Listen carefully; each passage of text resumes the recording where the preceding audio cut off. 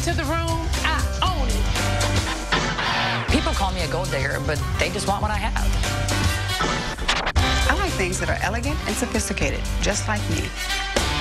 I have fame and fortune, and I've earned it. I'm the ultimate Southern Belle. I get what I want. I know how to work it and be seen.